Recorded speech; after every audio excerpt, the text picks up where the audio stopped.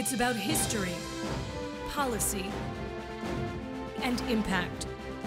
A new perspective on current affairs, bringing experience, insight, civility, and scholarship to the urgent issues of today. It's about our past, present, and future. Your host, Pulitzer Prize winning author and journalist Douglas Blackmon. From the University of Virginia's Miller Center, this is American Forum.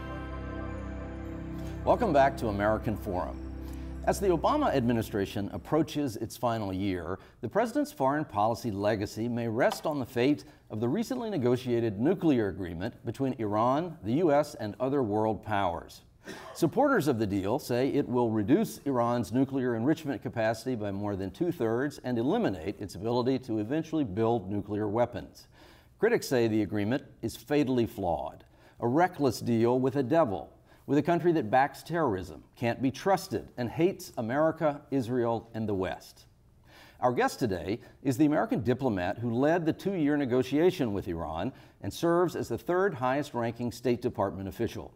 Ambassador Wendy Sherman has had a storied career in international diplomacy and at the highest levels of American leadership. She was a member of the U.S. team that attempted to negotiate a nuclear arms deal with North Korea in the 1990s a top advisor to President Bill Clinton and four secretaries of state, and was a vocal ally of Hillary Clinton during her 2008 bid for the Democratic presidential nomination. Ambassador, thanks for joining us. Thank you for having me, Doug. Glad to be here. We'll walk through the elements of the deal and the arguments for and against it as, as we go through the, the next half hour.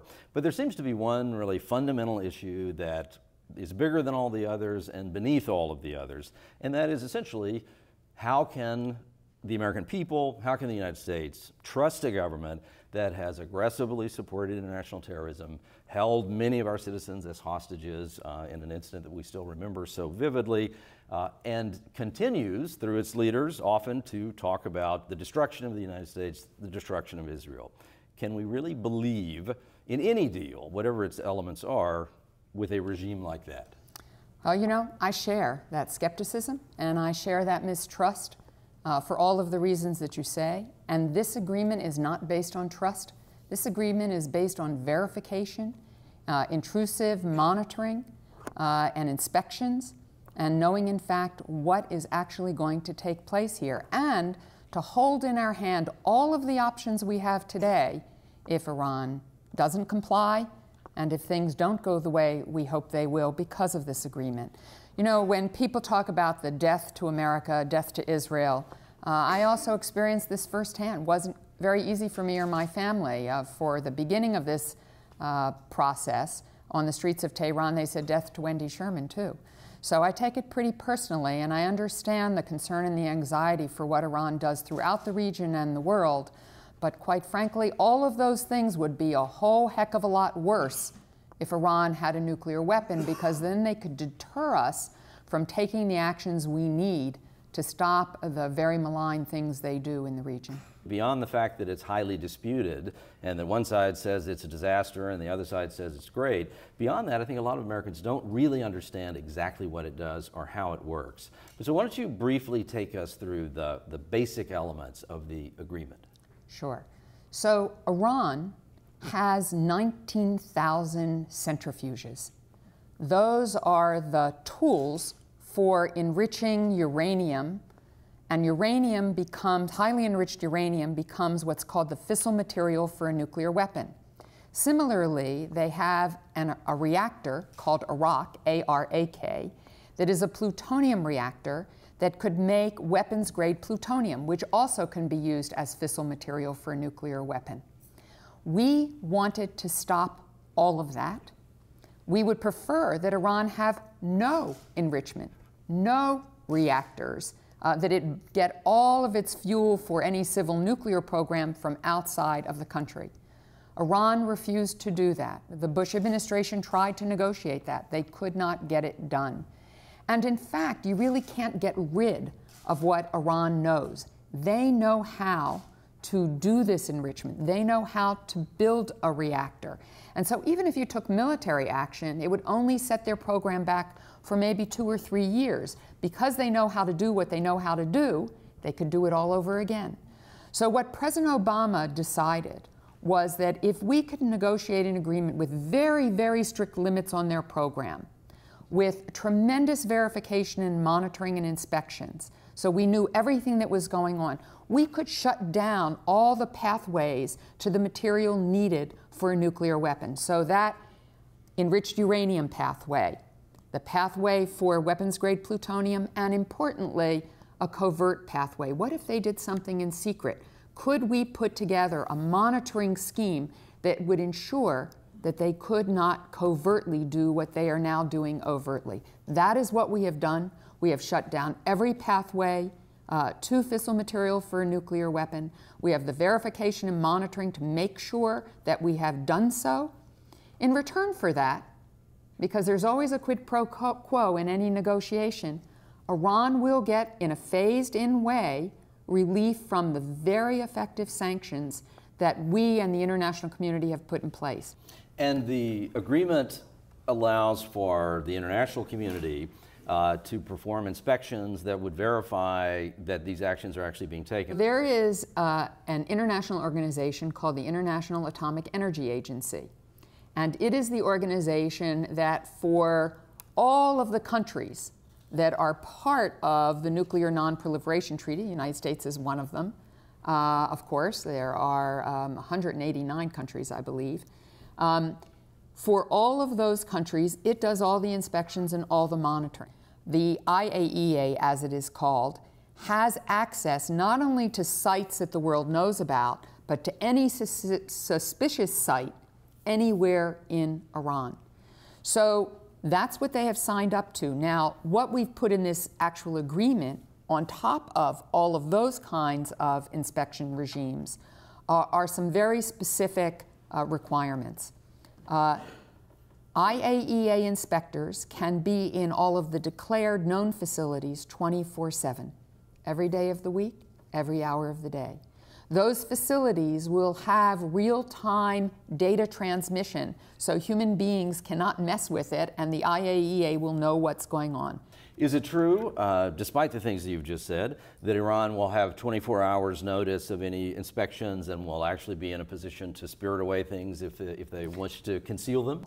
Um, people have used this term anytime, anywhere inspections. How come we don't have anytime, anywhere inspections in Iran? Anytime, anywhere inspections don't exist anywhere in the world. The only time that has existed is in the situation with Iraq. And in Iraq, we were occupiers in that country. Uh, that was a country that surrendered. Uh, that's not the situation here. We're talking about a sovereign country where the government, as much as we may not like it, is still in place. Under the additional protocol, the IAEA can give 24 hours notice and can then get into any facility they believe they need to. They have to show justification because you can't just say, well, I can go anywhere onto any military site for any reason. Any country would be worried we'd learn their conventional military secrets. So they have to say why. If five out of the eight of us vote that the IAEA should get access, and remember, United States, UK, France, Germany, European Union, that's five votes right there, so we'd probably get our way. Then Iran only has three days and they have to give access. Secretary Moniz has said, and our labs have validated, that even if it takes as long as 24 days, there is no way in 24 days, in 24 months, maybe even in 24 years, to hide traces of enriched uranium. They will be found. There'll be cameras that will tell us what's happening. Something called electronic seals, which is a technology that allows information to flow to the IAEA. In addition to that, for 20 years, Iran will have to show the IAEA everything it's doing in the production of what's called centrifuge rotors and bellows. Those are the actual parts of a centrifuge that make them work. So they won't be able to create a covert supply chain because we'll be watching everything they do in their centrifuge production. For 25 years, from the time uranium comes out of the ground until it's milled, until it becomes gas that goes into a centrifuge, there will be what's called uranium accountancy. The IAEA will watch every step of that process. They will know where every ounce of that uranium is. So they can't divert that to a covert process.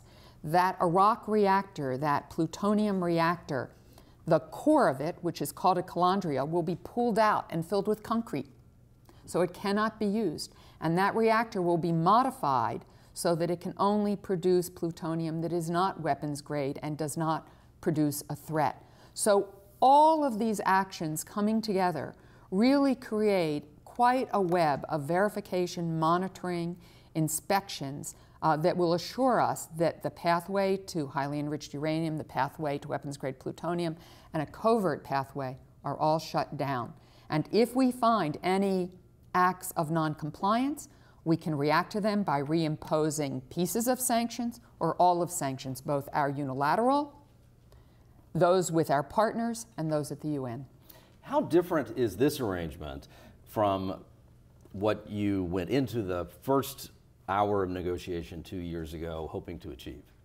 Well, when we started this two years ago, we knew that we were talking about severe limits on their program, that we did not we were not going to be able to simply wipe out their program, and because they know how to do what they know how to do, they could reconstitute it anyway. Uh, we had hoped, I think, a lot of people had hoped, not, I think we were pretty realistic, but a lot of people had hoped we could get them to get rid of all of their facilities. We didn't do that, but we have constrained all their facilities part of the criticism of the deal, part of what we've heard a lot from in terms of the opponents of this, uh, has essentially been an assertion that while this all sounds good, particularly when you present it so articulately, uh, but that somehow, uh, in fact, you and the others involved in this were hoodwinked by the Iranians. What I say to people about that is I wish you were as worried about today as you are worried about 15 years from now. Iran today is what some people call a nuclear threshold state. Uh, Iran today has the know how to enrich uranium and create weapons grade plutonium to build a nuclear weapon. So, why aren't the folks who are worried about 15 years from now as worried about today? This agreement stops Iran's ability to have to acquire a nuclear weapon and does it forever. Iran has made a commitment never to acquire a nuclear weapon. So if they take any step in that direction, we can act. And all of the options that we have today, sanctions, even military action, we have tomorrow. So we're really not giving up our ability to act. What we are doing is putting in place an agreement that ensures that Iran will not acquire a nuclear weapon today, or for the future, or forever. What was the thing that the United States conceded on that was most painful to you to concede on? And what was it that the Iranians gave up in return for that concession? What we tried to work out is ensuring that Iran would take a whole series of nuclear steps, and only then would they get any relief from the sanctions. In the first instance, we'll lift those sanctions, but they will not be finally terminated. And the sanctions will not get terminated until many years later. It will take acts of Congress to terminate those sanctions so that they can always be snapped back because they will still be in place, just in essence suspended for a period of time. And so, where in that is a concession from the United States and a concession from Iran? Well, I think, uh, quite frankly, it's not worthwhile to talk about who gave what where, because what I think is important is where did we end up? Did we meet our objective? And our objective was to shut down all the pathways to a nuclear weapon. And I have to say, Doug, you know, I don't know what will happen with Iran in the future. Uh, I think uh, no one can predict whether they'll come into the international community in the ways that some people hope or whether they will stay as difficult as they currently are. But I will say this the majority of the people in Iran are under the age of 25. They're, they weren't part of the revolution uh, some uh, three plus decades ago. And they are on social media and they know what the rest of the world is like, and they'd like a different future for their country. Let's talk through some of the criticisms uh, more specifically, since we won't go into the, the back and forth of the negotiation. But uh, let me just ask you some specific things. Is it true that Iran will be allowed to inspect itself? No. Uh, the Director General of the IAEA, uh, Mr. Amano, uh, said a few days ago that all of those stories uh, misrepresented what will occur. It would undermine, of course, the credibility of the IAEA if they let people inspect themselves. We had a team of about 15 of us who have been doing this for 15 years, for two, 15 years, it feels like that, for two years. But we were backed up literally by hundreds of American scientists and experts who helped us work through all of the incredible details that are required for such an agreement. Is it true that Iran will get to approve or disapprove the members of these inspection teams, including whether Americans would be, parts, be, be a part of those inspection teams? What the agreement says is that Iran will accept inspectors with whom they have countries with whom they have diplomatic relations. So Americans, so Americans won't be, won't part, be part of that. But you know, if you think about it in common sense terms, having somebody who you don't have diplomatic relationship with in your country uh, you could see how that would be uneasy. However, it's important for Americans to know that we train here in the United States virtually every inspector for the IAEA because we have the skills and the techniques and the ability to do that. And we have many Americans who work at the IAEA who are part of the Comprehensive Safeguards Agreement, a part of the team, as it were.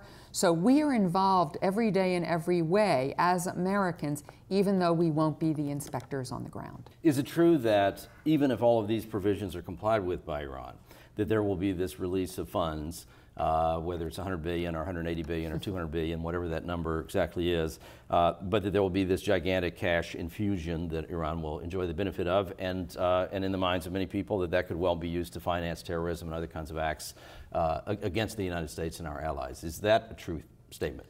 So let me break that down for everybody. Iran has assets that are frozen in banks around the world, not in any U.S. banks, uh, but in banks in Japan, in the United Arab Emirates, in India, and a variety of other places, South Korea. Those are assets that were frozen because of the sanctions that have been in place. So it's Iran's money that have been frozen in those accounts. Secretary Lew, our Secretary of Treasury, uh, did analysis, as did our intelligence community. And although there's about $100 billion in those frozen accounts, only about 56 billion is available in liquid assets for Iran to make use of. The others are in non-performing loans or in loans to China. So of that $56 billion, they can make use of it. Now, that's a lot of money. And there's reason to be concerned that the um, IRGC, which is the military of Iran, might make use of it to do more bad things in the region.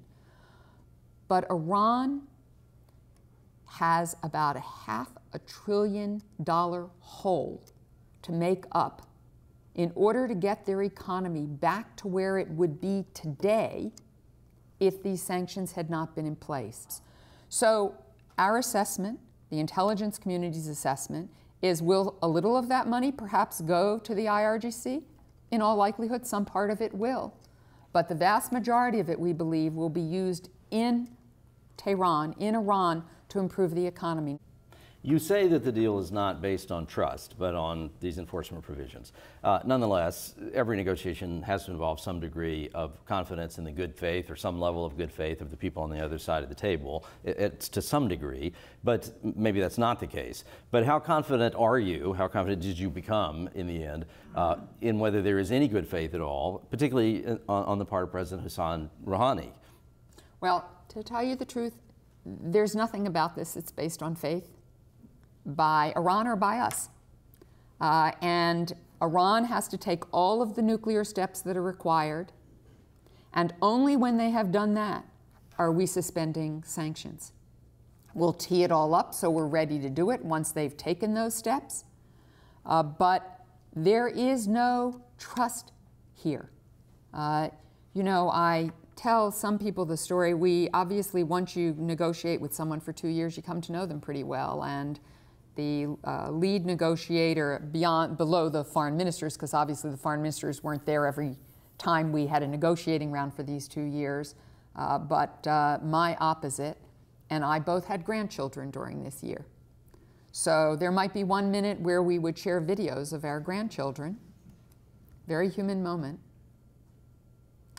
And the next minute be sitting across the table from each other, totally mistrustful, totally ensuring that we had the verification we needed, even yelling at each other, even walking out of the room, even threatening to say the negotiation's over. There were at least on three occasions where Secretary Kerry uh, said, you know, we're done. We're done. You're not doing what's necessary here. We're done. So there is not trust here. After three plus decades of mistrust, it is going to take a very, very long time and a lot of change in Iran's behavior. A lot of change for there to be any trust built. So this agreement has nothing to do with trust. It has everything to do with transparency, verification, monitoring, knowing what is happening, and our ability to act regardless of what occurs. Let's go beyond the negotiating table in terms of players who are nonetheless a part of this, uh, in terms of good faith, levels of confidence. Do you believe in the good faith of Benjamin Netanyahu? Of course I do. Look, the irony of all of this is that every step of the way, uh, we have consulted with our Israeli counterparts. Israel has enormous expertise in this field, enormous. Uh, and so I had, and my team, countless meetings with Israeli experts, uh, countless secure video conferences. Uh, they came to Washington. I and my team went to Israel. So yes, I, they have tremendous capability, tremendous know-how, and we made really good use of it. Use them to validate ideas or get critiques on ideas. At the end of the day, I completely understand that the Prime Minister has to make the judgment he thinks is right from his perspective for his country, just as President Obama has to make a judgment for the national security of the United States, and Congress is going to have a say about that through the Corker-Cardin legislation.